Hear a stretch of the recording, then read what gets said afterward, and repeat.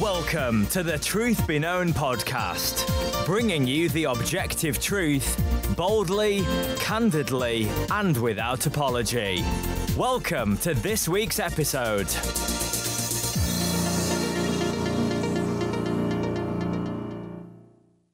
Well, guys, welcome back to another episode of the Truth Be Known podcast. I'm Nathaniel Jolly. And I am Ekkie Tepsapornchai. And guys, we have a, a, very special guest with us for this episode, Dr. Abner Chou. Um, thank you for joining us. It's really a privilege to have you on. Oh, it's my pleasure to be here. Thank you for all your guys' ministry. Happy to be a part. Well, uh, Dr. Chou, before we get into uh, our topic today, which is going to be talking about the LSB and translation, for those of you who maybe aren't familiar with you, um, or they've just seen your name around because you know it's been attached to the LSB. Why don't you tell us just a little bit about yourself, a little bit about the various ministries you're involved in, and then we'll kind of segue from that into uh, translation talk. Sure, happy to. Yep, my name is Abner Chou, and I have the honor and the privilege to serve here at the Masters University and Seminary.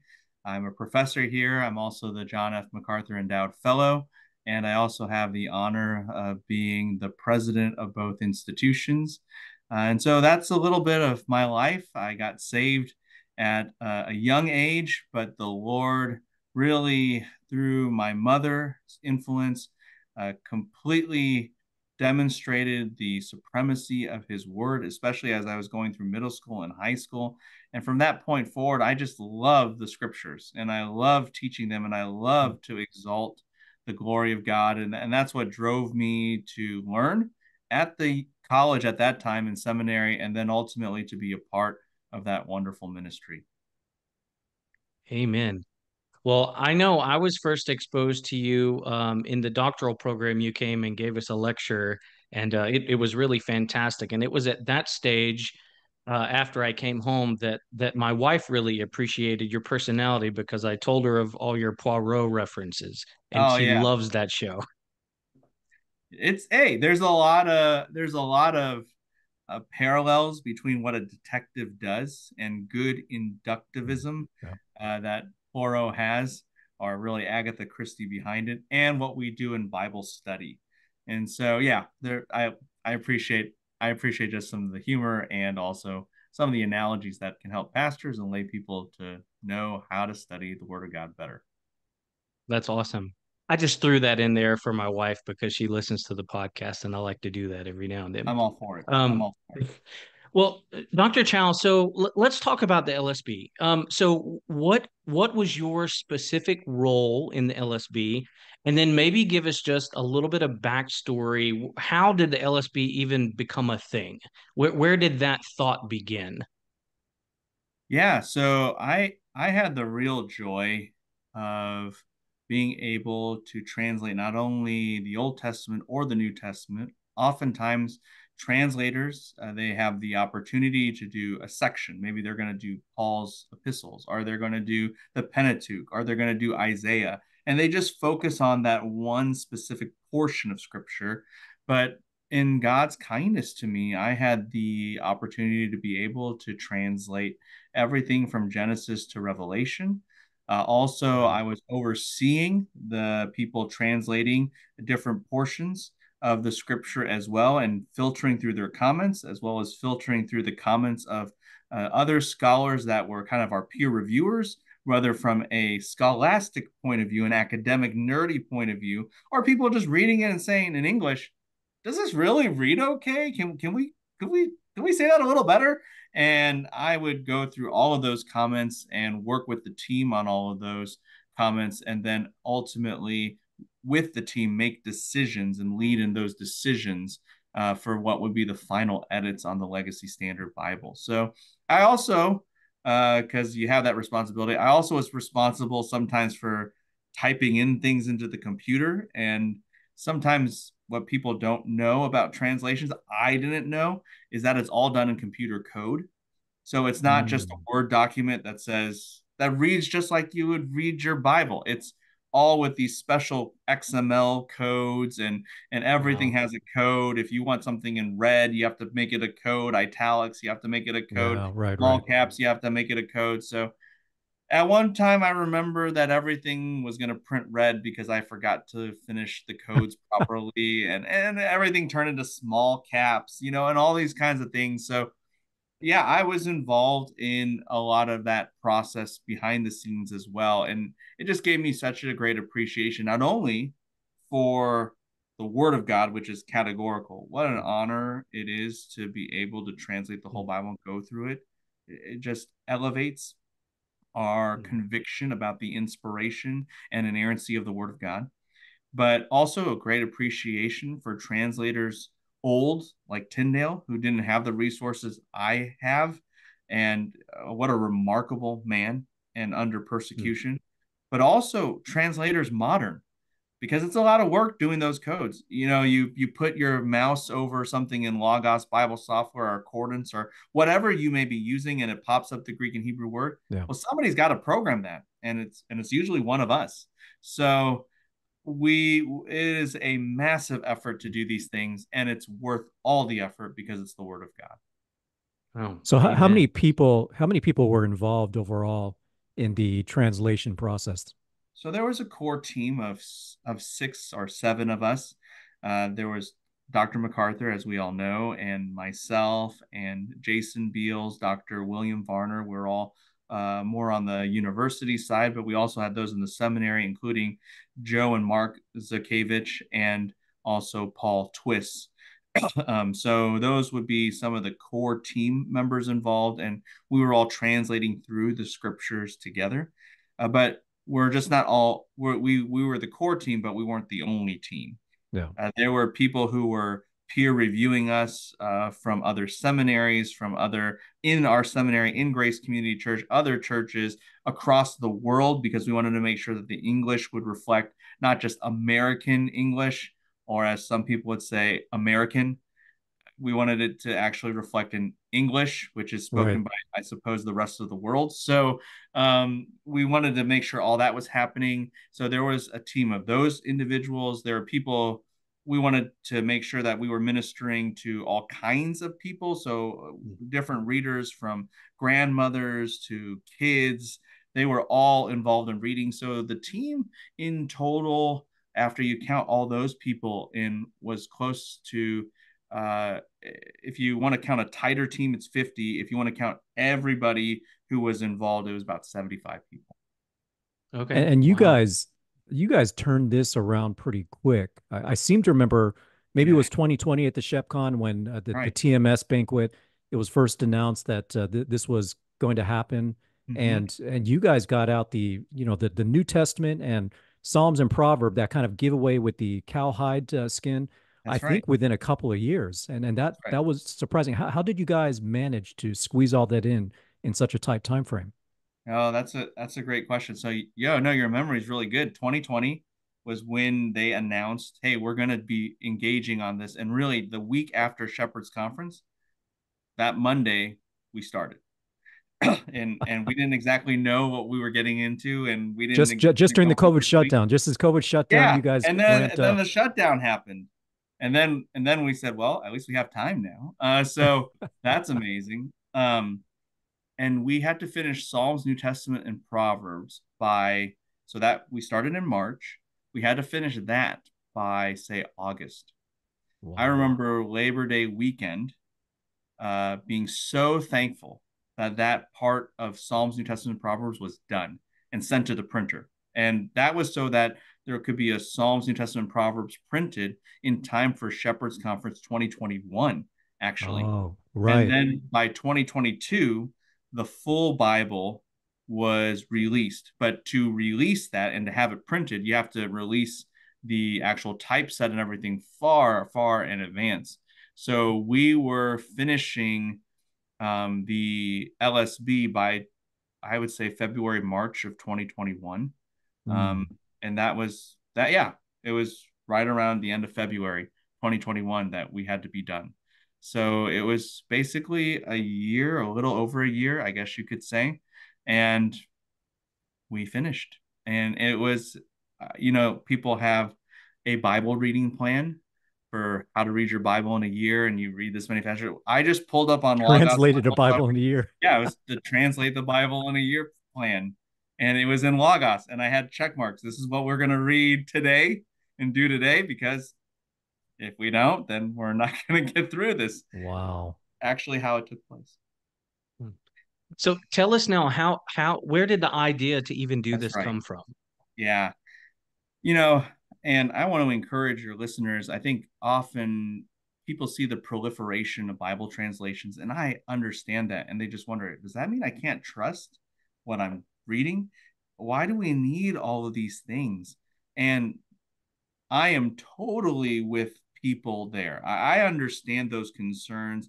In fact, the story, at least for me, starts with uh, the following anecdote. Somebody at a nerdy conference the November before all of these things start to kick off said, Would you be willing to do a Bible translation? And this this person was asking me a lot of questions. Would you be willing? Would you, you know, maybe we could get some donors together and, and fund it? And I just said, No, I don't I'm not really interested. Like I'm really happy with what's going on out there. I'm I'm really content and and uh, you know what what am I gonna do? What can I really do? Uh, we're okay. And so I think hopefully that sentiment shows everyone listening. Yeah, you. I get the concern. I, I truly grasp the concern about the proliferation of Bible translations. So you say, well, then why'd you do it?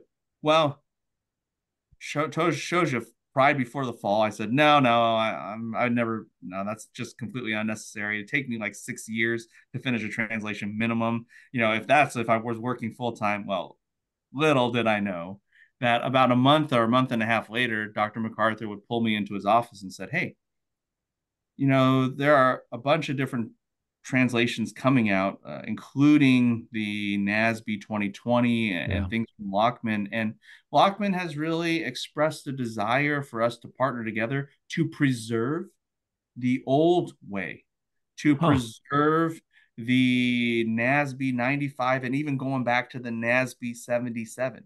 Would you be interested in that kind of preservation work?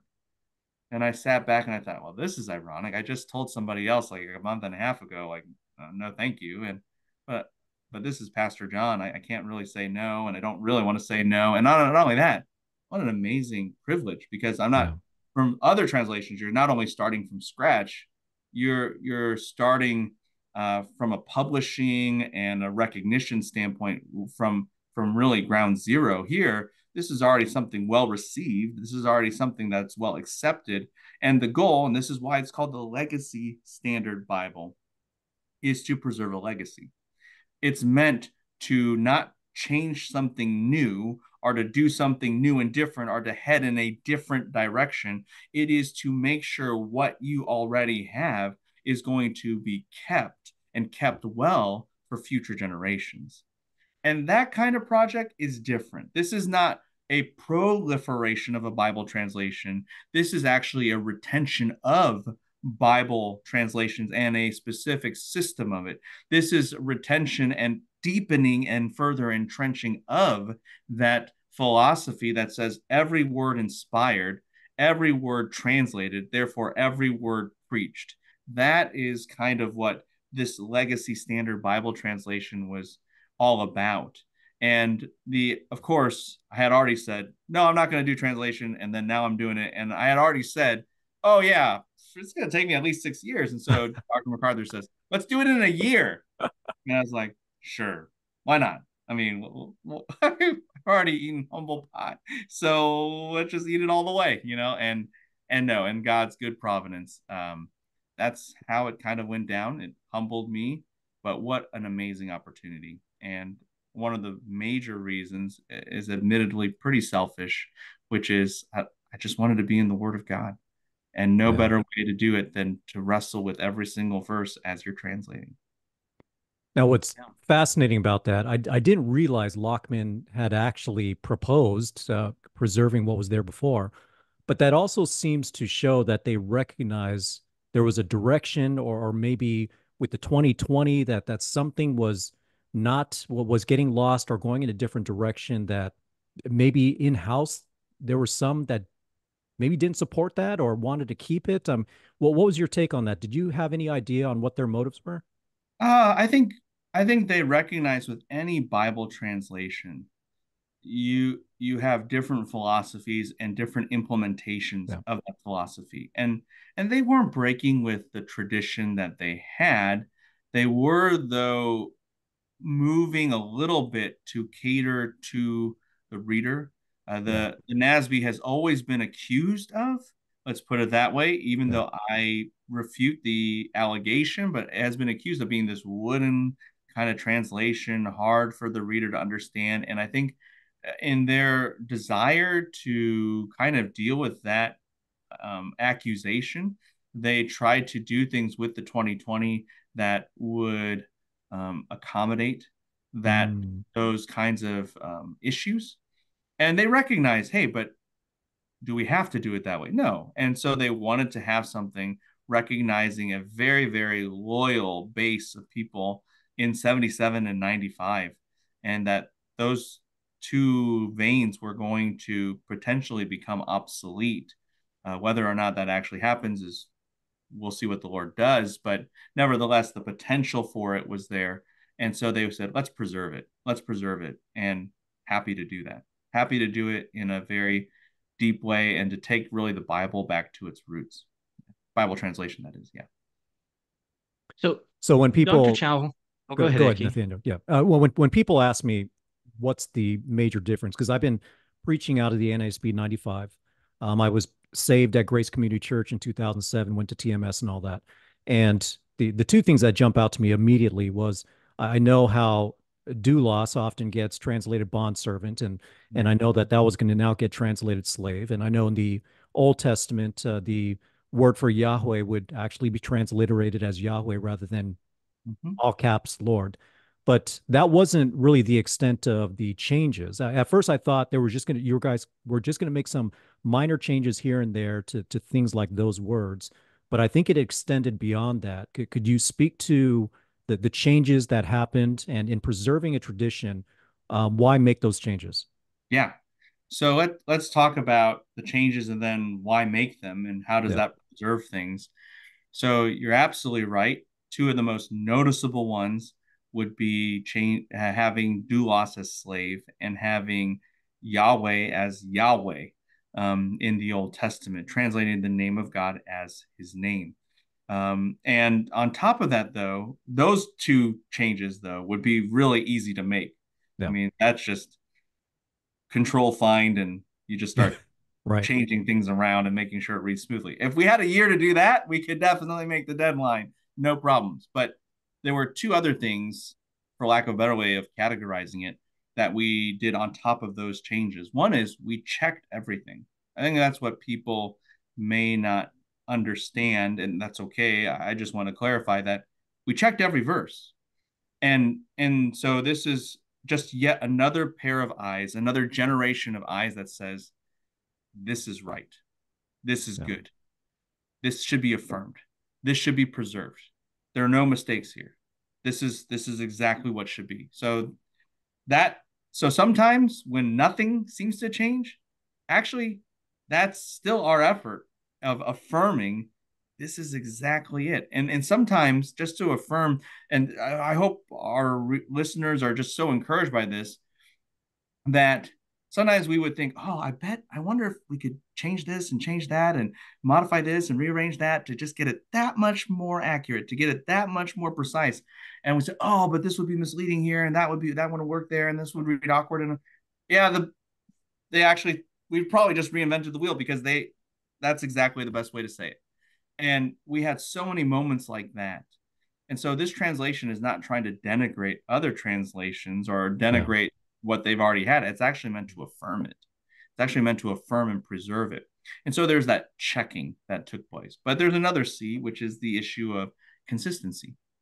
Consistency. And what we wanted to do is to make sure that there was increased consistency with the Greek and Hebrew text, just categorically speaking, that grammar was preserved. If it's a participle, let's make sure it's represented as a participle. If there's a conjunction here, let's make sure that there's a conjunction reflected in the English so that what you see in English is a window right back into the Greek and Hebrew, no problems. That that was a major goal. And within that, a component of consistency was that particularly within passages, particularly with the same author of scripture, we wanted that the same Greek or Hebrew word, as much as possible and within nuance, would be reflected consistently by the same English word. So that when you say, hey, that word there matches that word there, that's because in Hebrew or Greek, the author the used word. the same word. Yeah. That can often get lost in translation because there's a concern to use variety, to have a variety of style. But sometimes, oftentimes, the way the author would weave his narrative or his epistle together, or make wordplay, or make a theological point, or make connections between different parts of scripture, even, is by the repetition of key words and key phrases. And so it is very important for us to maintain consistency so that we can make the connections the author was making originally. And that's one of the reasons why we made all the small surgical edits that we did was because we're not trying to deviate from the the system, the mentality, the philosophy of translation that has been found to be frank in the KJV that has been found in the New American Standard 77 and 95. We're not trying to deviate from that. In fact, we're trying to preserve and deepen it. We're mm. trying to build upon what was already there and do it more. We're, we're trying to make the NASB, as the phrase goes, more NASB. That is the goal of the LSB. And just like there's progressive sanctification, and we're get we are being refined by the Lord more and more, we are refining a translation, not categorically changing it. A lot of people read it and say, this almost reads like the NASB. Well, what's the difference? Perfect. Job well done for us. Yeah. Because we don't want you to think it's different than that. We just want to make subtle changes that take the NASB and make it more what it always was intended to be to give an even more refined tool to the church. So to strengthen the faithfulness of the translation. That's right. That's right and and maybe other generations after us they may build on our shoulders to do the same thing. Well that's kind of the point. That's that's the beauty of this whole situation is we just want to do things more faithfully. And maybe by god's grace the church because they're familiar with how this translation works and the learnings that come from it then they'll be ready for an even more rigorous and more consistent translation because they know what to look for. And we've and everything has been moving forward in the growth and sanctification of the body in that way. So dr chou this is leads us into a really uh, good place to ask the next two questions they kind of go together. At least i'm gonna put them together. You've answered them really already a couple different ways and times but eh, for the guy sitting in the pew who's thinking, man, another translation, um, w- why should I use the LSB um, over my KJV or my NASB 95 or my ESV? And along with that thought, generally comes the next one, which is, well, if I'm thinking about switching translations, how, how do I know I can trust these new translations? Like, eh, should I always be looking to find the next translation? Like what does that do to our um uh, uh, our, our belief in in the inerrancy and sufficiency of scripture if things are changing? Kind of kind of speak to those normal questions that folks might have? Absolutely. And i think the right approach and the right analogy is to talk about translation as a tool. It's a tool. And it's a tool that does a specific job. Fundamentally for the person in the pew saying, Man, I just love my KJV. I just love my NASB 95. I just love my ESV. Look, for me, I think praise God. Yeah. Praise the Lord. I want you to be in the word. Yeah. I yeah. want you to, and this is the pastoral side of me, I, I hope that comes out. I want people to be deep in the scriptures, deep in the word of God and the God of the word. Uh, far be it from me to say you have to use this translation. This is the best one for you, or something like that. And I know there's a marketing aspect to things, but theologically and fundamentally, I want people to be in the scriptures. I want people to be studying and meditating on the truths of God's word. So, for the person who's saying, man, there's just another one out there, I get its overarching purpose and kind of the greater picture, but I'm just one person and I just like my Bible and I've been in it since I was a kid and, and now I'm older. Why would I leave it? I would tell that person, be in the word. Don't you don't need to leave anything. Amen. And, and just like you have tools, though, just like you have tools, hey, stay in your KJV, stay in your ESV, stay in these things, and add another tool to your toolbox. Yeah.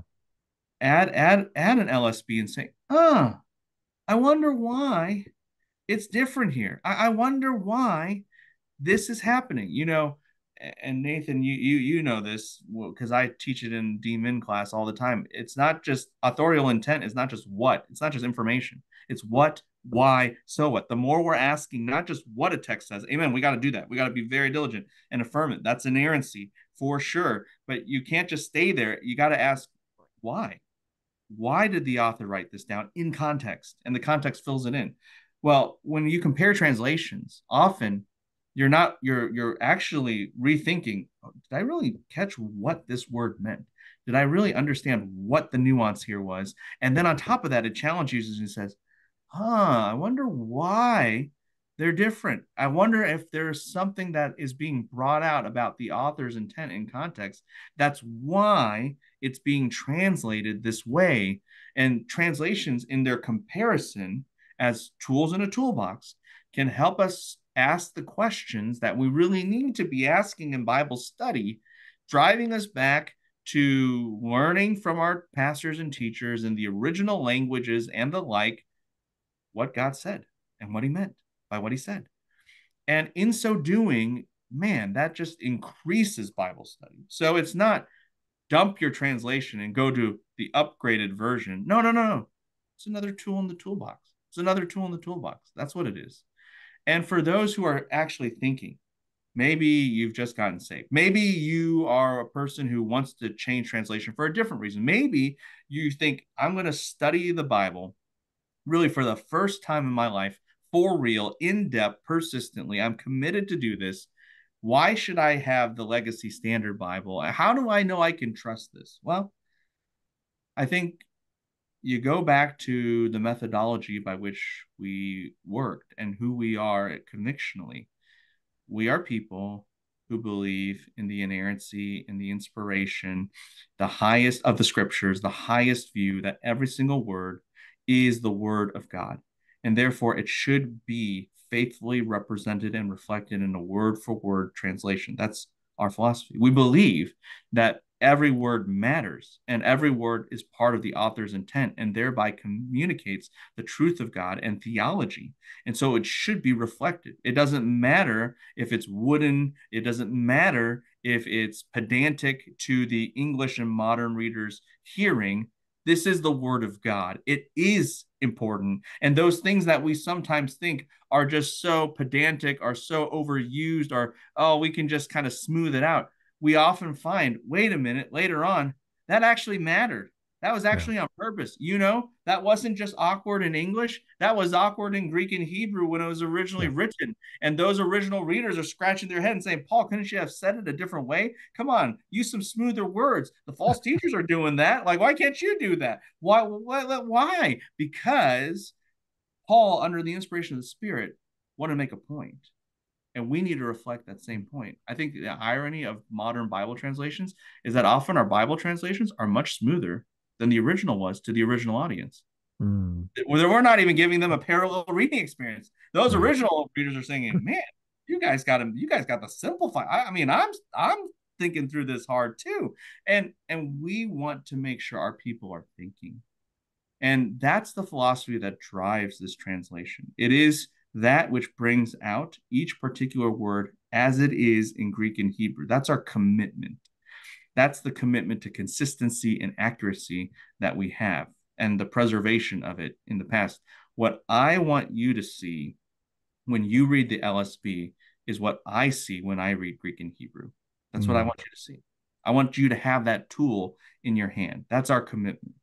And so, if you want to study the Bible with that kind of precision and that kind of depth and with that kind of confidence, then that's why you go for the LSB. It's a it's a specific kind of tool for a specific kind of task, and that's how we crafted it to be. And and what you're describing really points to the difference between translation and interpretation.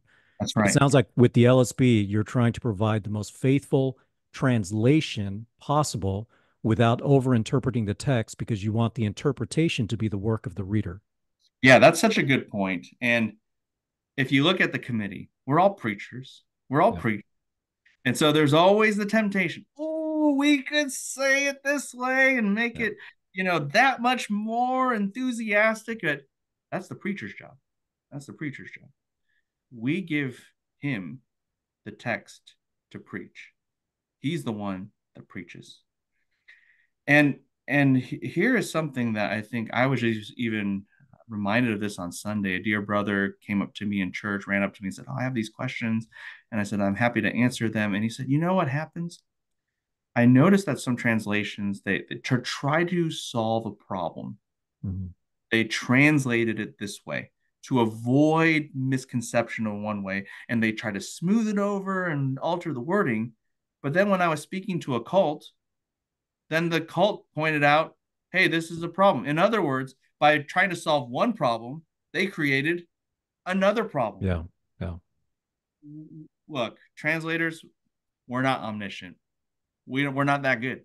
And so our job is just to make sure that what the Greek and Hebrew is articulating and reflecting and has been written is being transferred over, translated into the English. And the issues of interpretation the issues of theology and such like that, that even though we of course have convictions about it, our job is to give that to the preacher so that they can make decisions and convictions based upon the submission to the word of God. I would put it this way you can never just win a theological argument by altering a translation. That's a cheap way to win. That's the way the cults do it. Mm-hmm. Right. The word of God stands. On our theology is not because we could rig a translation to get results. It is because our beliefs are rooted in what God has revealed and said and written. Hmm. Amen. Well, Dr. Chou, are you ready for a lightning round? Uh, sure. We got a few minutes left here. Um, let me see if I can just get off as many of these questions as possible. And uh, if any of them are, are too involved, we can just set those aside for some other time. Let let me um, let me kind of start with maybe the more technical, and then we'll go from there. Um, so one of um, our brothers has asked the question about a particular way of translating uh, the tenses from the old into the English, and so w- where we have the, the, the historical present tense in the Greek that did not come over into the present tense in the English. Can you help us understand why that decision was made? Yeah. So in some, the Greek text and the Greek uh, writers of the Scripture, or the writers who wrote in Greek under the inspiration of the Spirit, they sometimes use the present tense to intensify what they were saying. It's a climactic way, an immersive way, a vivid way to show the progression of what would happen, particularly in a story, in a narrative. And the way the NASB traditionally designated that was to use asterisks. And uh, the LSB maintained that. And it maintained it for two simple reasons. One is because when we we are trying to preserve what the L, the NASB did. We're not trying to change it unnecessarily. Mm-hmm. And second, we're preserving not only what the NASB did, but we're preserving a careful balance of making sure we don't throw new readers off of wait, why is the tense changing all over the place? I don't know what's going on. Instead, we use a tool. That's the key. Tools even have tools inside of them. And we have footnotes and we have cross references and we have italics and we have asterisks in this case that asterisk the word and say, hey, even though, yes, for the sake of smoothness, you are reading this and it doesn't jar you at all to see the progression of past tense verbs. But this one, this one's present tense. This one has heightening to it. This one has some special emphasis, a good kick to it, so to speak. We want to make sure that's reflected. And that way, we're balancing, making, and ensuring that things are readable and understandable and not a stumbling block or unnecessarily confusing without explanation to people. But yet, what is in the Greek and Hebrew is still reflected. And we have to use all those tools. And that's why we did it. Awesome. Okay, next question. Um, so this one is about a particular passage, uh, and I'll read it for us just uh, so our hearers will know where we're at. Um, in First Corinthians 12, 10, the LSB. Um, so let me let me get there. It says, and and to another the workings of miracles, and to another prophecy, and to another the distinguishing of spirits, to someone else various kinds of tongues, and to another the translations of tongues. Sure. In some of them, it says interpretation. We have a superscript there in the LSB. Um, what do you, do you remember why you decided to go with translation rather than the typical interpretation word?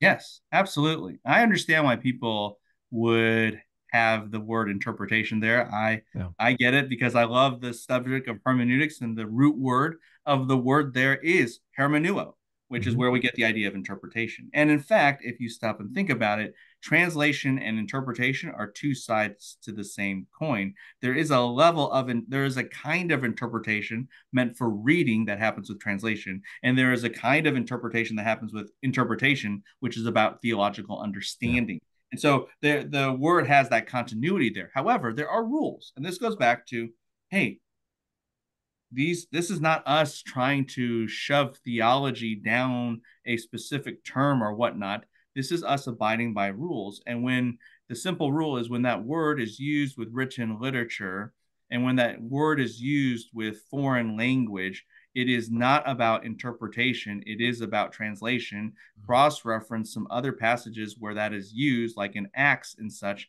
it is used as the term translate. However, when a word is used with uh, moving from same language to same language, obviously we're not translating, we're translating ideas, which is the idea of interpretation. And that those are the rules of how uh, terms are used, and we abide by those rules. Awesome. Okay. Um, next question. Uh, this writer says in the foreword of my LSB, it says punctuation is a relatively modern invention. How did you or your team decide on punctuation? Are there natural breaks in the original that would lead to mm-hmm. this, or what was your way of discerning punctuation? Amen. Actually, that's a really amazing question. Yes, punctuation is a new thing. And yet, the Greek and the Hebrew, the way it is structured and organized grammatically, actually sets up for natural punctuation natural phrasings and such. And in the English, we reflect that by adding in commas and such. And I should give a shout out to my dear brother in Christ, Jared Kingsley. We often labeled him comma man because we had to make him go through the entire translation and make sure that commas were properly added, including like Oxford commas and stuff like that. So, hey, somebody's got to do it. And he was so faithful. And it takes actually someone in the original languages to know, hey, this is the way it should be punctuated because of the way Greek and Hebrew reads. And so um, he did a spectacular job, and and it, it was very very intense, and and it could be kind of hard because that that's a hard job. But I'm thank we're all thankful for it. But yes, the grammar of the original languages helps us set up for punctuation. Well, God bless that man who will hence be forth known as the comma man. I like it. Um, Okay, next question. Are there any places in the original language where it's one word, but we don't have an equivalent word in English, so you have to use a phrase or or more more words? Absolutely, absolutely. Uh, we want to make sure we account for every word, and if possible, to do it by a word. But sometimes you got to use more than one. Sometimes a verb, it's even like a perfect tense verb, have happened. You got to use two words there. Uh, sometimes uh, a word just has to have more than one. Or how about this? What happens if you have a word play or two words that sound very similar or, or have a mm. similar idea. The way you distinguish between the two is you add a modifier onto it. Or what happens if a word is intensified? A good example of this is in Second Timothy, uh, Second Timothy, where it says the man of God will be complete, thoroughly complete, or uh, in the LSB um, that every man, uh, Second Timothy three, that every man may be found equipped, thoroughly equipped for mm-hmm. the work of the ministry. The, mm-hmm. the the words are very very similar. There's actually just a slight addition on that intensifies. So we have to add the word thoroughly onto that. And there you could put it this way: we're not just reflecting every word; we're trying to reflect even letters. Wow. No, that's awesome. Okay, so, were there any particular, particularly difficult passages for you to translate? Were there any that took you, you a little bit longer? What was the process? What what made it more difficult? Uh, one of my favorites to share about is actually in the Psalms where it says he gives sleep to his beloved. And uh, the irony I thought was that man, we're losing all this sleep trying to figure out like if this is the real best way to render the phrase and how to prove that. And and in the end it was a good way to do it but but there's a lot of grammar involved in bringing that out and demonstrating again because we're just checking. We're just trying to say this is the right thing. And sometimes a translation doesn't change but that doesn't mean we didn't do the work. It's just that the work led to the affirmation of what was already there. Mm-hmm. uh, so that was a that was a fun one to do. James 4 has a very tricky kind of um, some tricky grammar there. Even if my memory serves me, Doug Moo in his commentary says it's one of the hardest passages in the New Testament to really uh, render from a translational standpoint, just because of the intricacies there. So that's that that can be hard. Things in Second Peter have some trickiness. Even in the Old Testament, you have textual critical issues, which is where uh, different manuscripts are reading different ways and how to reconcile all that. So yeah, there there were plenty of things where there's real need for prayer, real need for teamwork. Uh, and that's the beauty of working with a team because not one person just has all the ideas in their head and all the wisdom. And the Lord has gifted so many different people. And man, we all came together and and different ideas helped to solve those issues. And yeah, so were there challenges? Of course there were, but that we could get through them shows this the word of God is clear. Yeah. I think one of my favorite ones, um, and now I can't even remember the animal. It's totally gone from my head. But I oh, yeah. heard you talking about having to do all the research on whether it was a, I don't know, was it a porcupine or a skunk yeah. or a, a echidna or something. Yeah. The, the, hedgehog. Yeah, the hedgehog. Yeah. And you're like, is this a red kite? What is a red kite? I'm just thinking, you know, it's the diamond thing that flies in the sky. I I I'm I'm looking up animals. We're we're we're looking up building schematics to make sure that you know this pin and this knob is exactly the way it should be and how things are being described. I mean yeah it, it is it is very involved. You you never think that translators have to go through zoology and construction and even nautical ideas to make sure everything is working correctly. Yeah but you do. And it's fun. It's good. And uh, it's a reminder of the breadth of the Word of God because the breadth of the Word of God covers so many disciplines, so many reality, the whole world. It's our Father's world. This is His creation. And so everything is under that umbrella, and the scripture touches on that. Yeah, it's an amazing thing.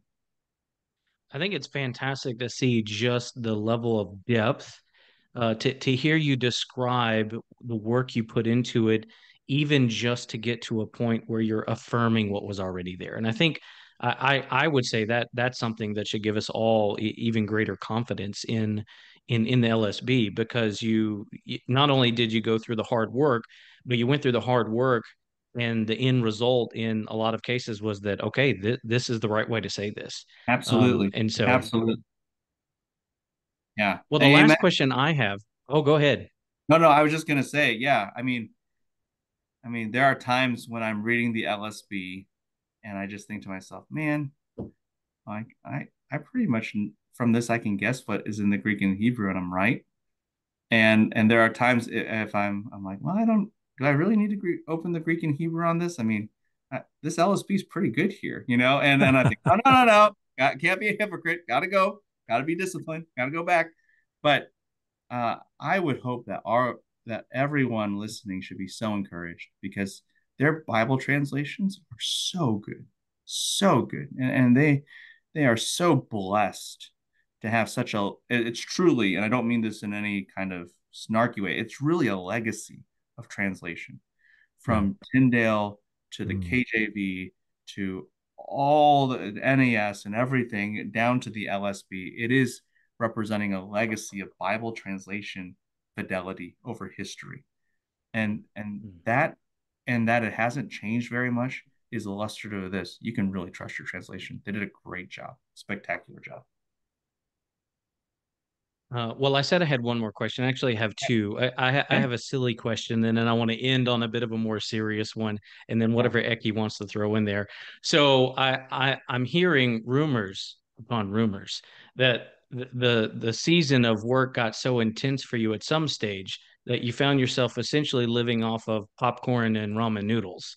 Sure, sure. Uh, well, at one point it was so intense that and you know it was during covid uh, we would have these meetings they'd be four to six hours of meetings on a day and just going through the translation and and at one point i just thought oh burning up i feel like i have a fever feel feel terrible what, what's wrong with me i must have contracted covid how is this even possible but you know you just have to endure through the meeting and and i text my wife and from my room and i think i said honey, I think I have COVID. I, I must must have gotten somehow. She's like, you don't have COVID. You like never even seen the sky for the last month. You've never been outside that room. You know, like what are you talking about COVID? Like you you're just confined. Like this is a prison cell. She's like, I'll tell you what your problem is. You're dehydrated. I gave you a pitcher of water to drink like a day or two ago, and you haven't drunk anything for like wow. 48 hours. That's how intense the work got. And so I told the story to my fellow translators. They thought it was really funny, but then they would send me emails like, "Dear Abner, no changes necessary. Drink water. Drink water. Drink water." you know? and and people would just text me, "Drink water. Drink water. Are you drinking water?" You know, and and it was great. But yeah, the work the work got intense for all of us. Uh, we were working around the clock.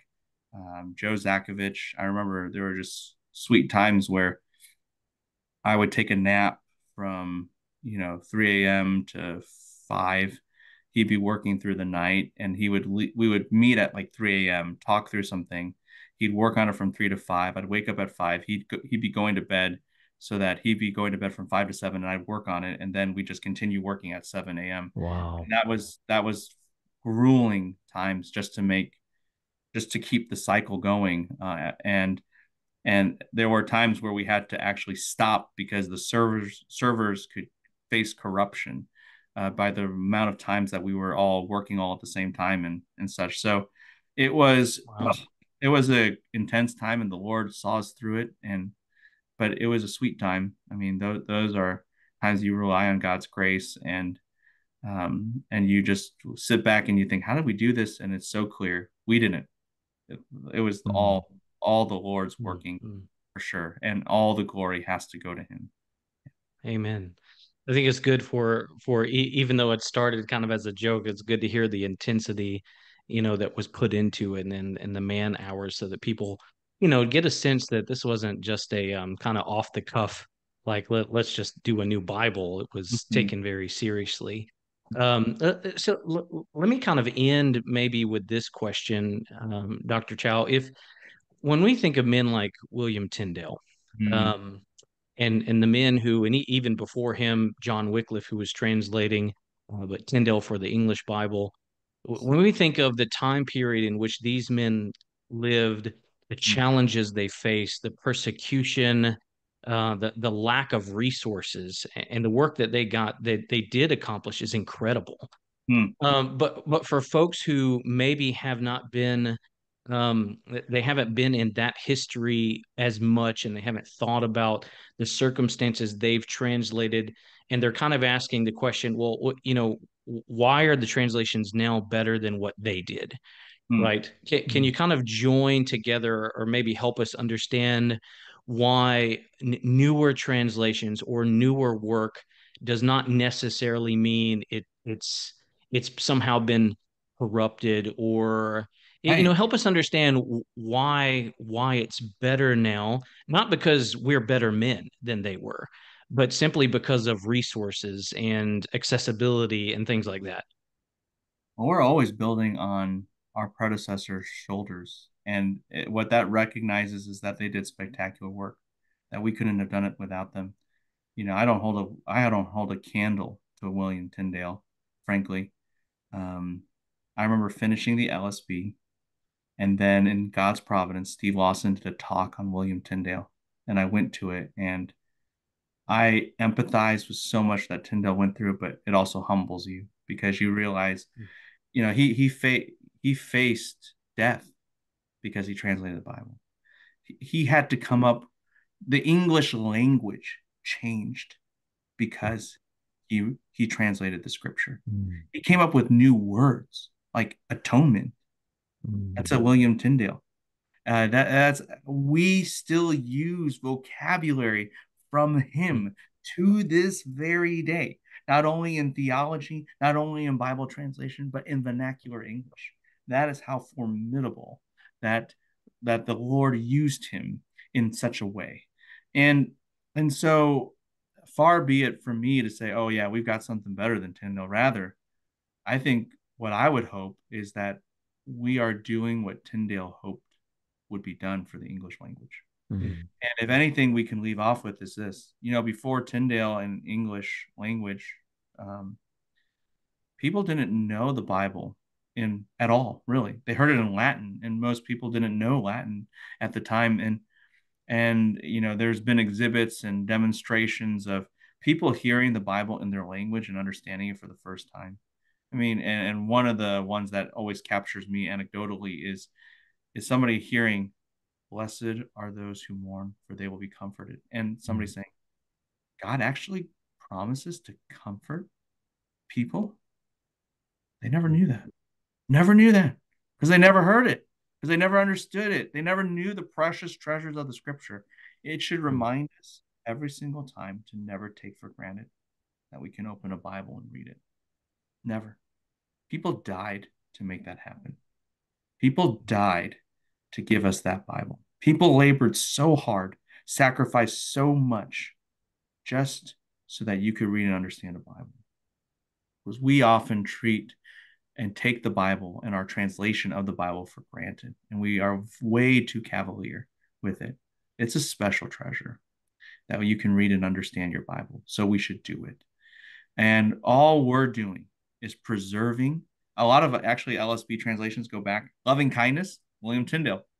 Uh, mm-hmm. We're preserving that wow. language because we're showing the Bible they used back then, the Bible they have then, the Bible they had then in the 1800s and 1700s and 1600s, and the Bible we have now. There's not that much difference. You know why? Because the Bible doesn't change. The Bible doesn't change. Language may change, our Bible doesn't change. And we're just trying to do and walk in the footsteps of Tyndale and not trying to show we can outdo Tyndale. That's what's going on here. Amen. Well, I think that's going to wrap up our session for today. So, guys, we hope that this has been helpful to you. Uh, for those of you who are listening, really, uh, our hope in doing this episode would is that it would um, give you confidence in your English translation, that it would give you exposure to why the LSB is a good tool that shouldn't be shunned but should be added to your Bible study. Uh, Dr. Chou, you've been so gracious to give us your time. Uh, thank you for that. I appreciate that, and just all of your hard work on on this work that God, in His providence, put in your lap. Uh, that's blessed you, and in turn blessed the rest of us. So, thanks for joining us today. My joy, and it's been a privilege. And man, I've just had an edifying time with you guys. So thankful to the Lord for you all. Oh, praise God! Praise God. Well, guys, we hope this has been helpful. And until next time, let the truth be known.